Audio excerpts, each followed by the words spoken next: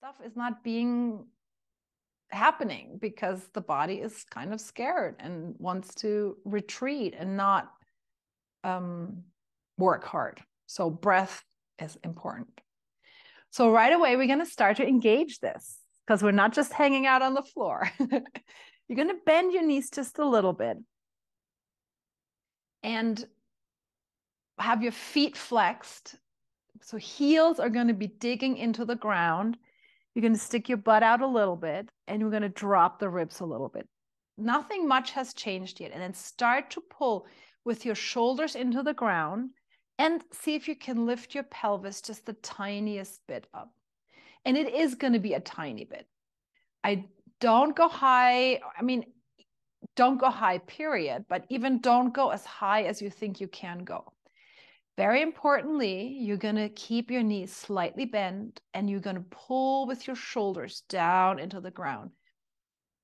And here we go. This should be already quite taxing on the whole system. And we're breathing and we keep flexing the feet and keeping check in the knees. We're not straightening them all the way. They're, the legs are going to be really, really, really long.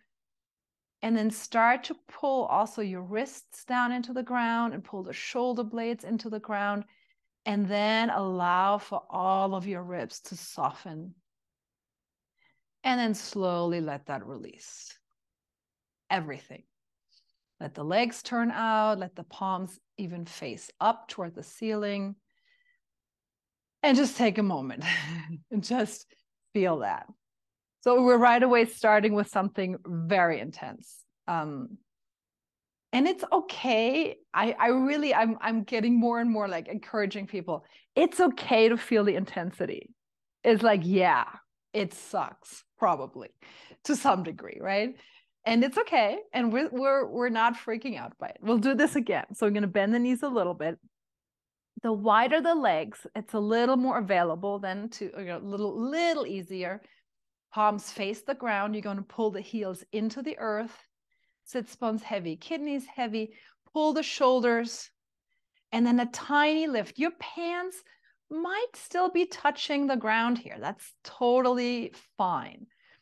And we don't want the ribs to lift your pelvis up, right? We want those ribs to be super duper heavy and barely lifting. And we're pulling and we're pulling and we're pulling. That's the only job you have right now pulling with your heels, pulling with your whole arm, your shoulders, maybe even all of your fingers, your wrists, and your breathing.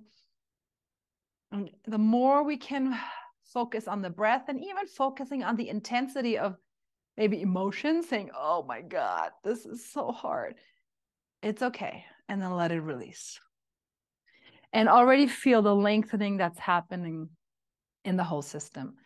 Maybe there's more of a touching of the ribs on the ground. Maybe you can take that pillow away from underneath your head and you feel more connected to the earth. And that's, you know, you could be done here, literally.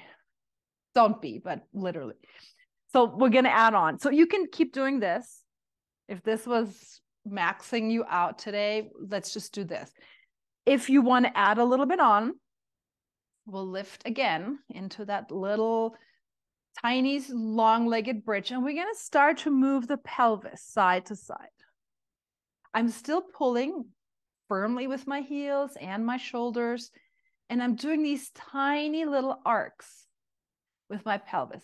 Left hip goes down as I rotate my pelvis to the left. I'm keeping my kidneys heavy.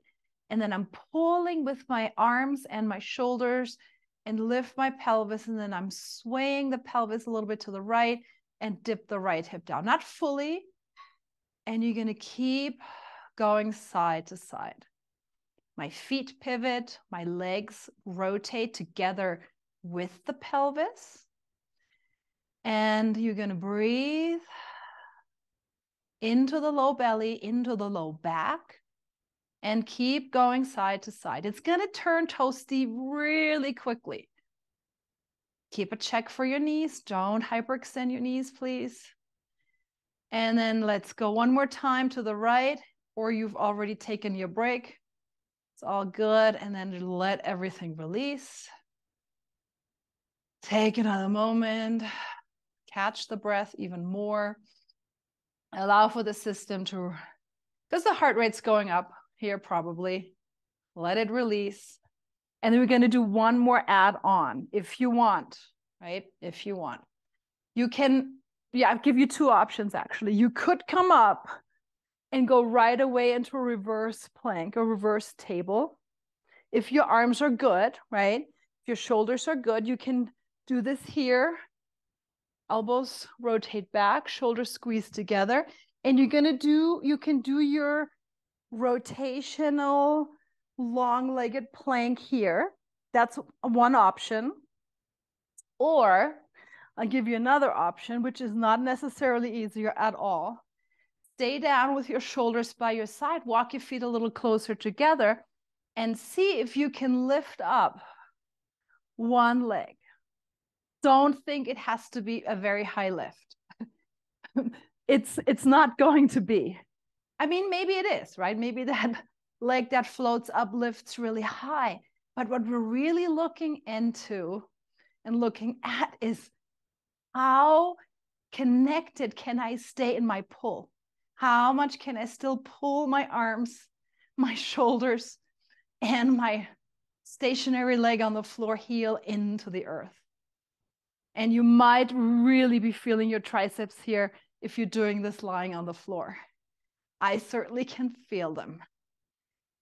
Find your breath, find the tiniest lift, whatever, right? Maybe you're still doing your little side to side rotation here.